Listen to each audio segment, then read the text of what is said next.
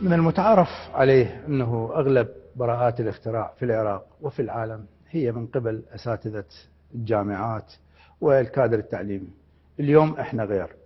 اليوم إحنا مع 35 ميدالية ذهبية وفضية. الرفع بها راية الله أكبر عالية اللي هي مرفوعة على طول في الميادين ميادين الاختراع الدولية. اليوم إحنا مع الأستاذ حسين الشمرتي ونفتخر به أنه من القطاع الخاص. أستاذ حسين سولف لنا شلون بدت فكرة هذه البراءات الاختراع وبيا حقل بالذات هاي البراءات متخصصة وشلون تم استثمارها؟ نعم. من دكتور. قبلك طبعا. نعم دكتور. السلام عليكم.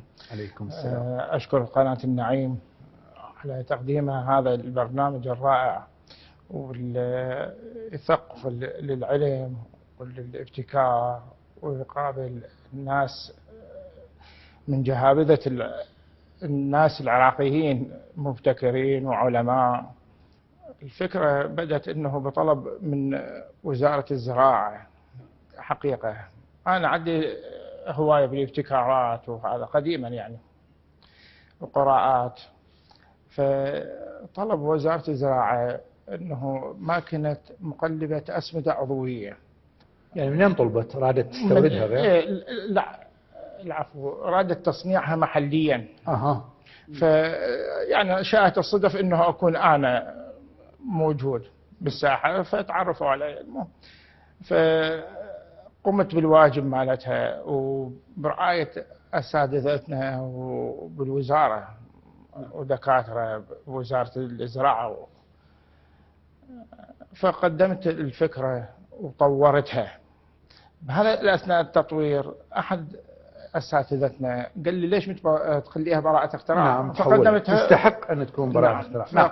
فقدمتها صارت براءة اختراع الحمد لله والشكر. وهاي فخر يعني العفو يعني هي عوضت عن الأجنبية. عوضت. مو كان ما نستورد بالعملة الصعبة صارت براءة اختراع عراقية وأفضل من البراءة الأجنبية مثل ما نعم. تقول تقول طورتها. نعم. نعم. آه، حتى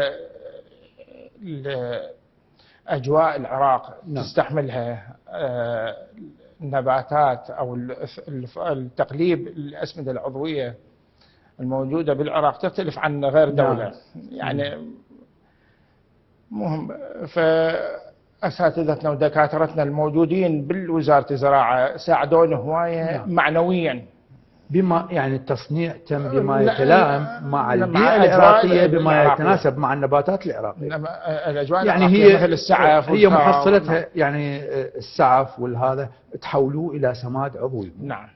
سولف لنا عن هاي الفكرة والله السماد العضوي آه، هو فكرة جديدة بس قديمة من ملايين السنين. نعم. لأن الغابة آه، أساسا هي تنثر ورقها وال- والنفط منين؟ والطيور والطيور الطيور تخب هذا والأرض تخمرها فتصير نعم. سماد عضوي وإحنا بعد آلاف السنين كنا نصير نفط نعم آه، نعم. فكانت الفكرة أنه هذا فكرة جديدة وخصوصا السماد العضوي هو نعم. آمن للمزروعات نعم.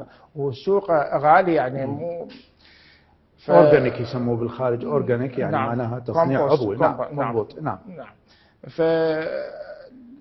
فالتصنيع مالت آه، السماد العضوي بكل سهولة يقدر أي فلاح أو أي مستثمر أو هذا. وفعلا أنا جميع محافظات العراق كلها أنا عندي مكاين تشهد أنه موجودة هذا بالمراكز ال- السماد العضوي.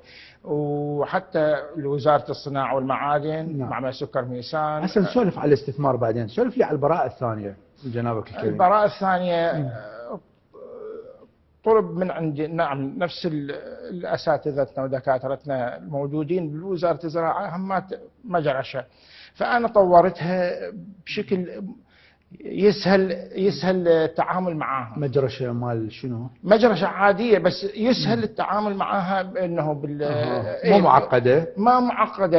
إيه يعني بدل ما الاجنبيه بدل ما تفك المنخل خلال بحدود ست ساعات أو يوم كامل أو يومين هذا بينما أنت بخلال بأثناء عملها آه، تبدل المنخل بخلال دقيقتين. شاركت أنا سمعت إنه جنابك آه، بمؤتمرات عالمية خارج العراق وحصلت على جوائز ذهبية وفضية كذلك. سولف لنا على هاي المشاركات. مشاركتي بمصر تبتكر آه، قبل حدود أربع سنوات. ومشاركتي مشهد معرض مشهد في إيران نعم. في إيران الجمهورية الإسلامية اي نعم الجمهورية الإسلامية فحصلت الميداليات الذهبية الحمد ما شاء لله الله نعم يعني إية. راية الله. أكبر هي على طول مرفوعة. ساهمت في. رفعها في نعم.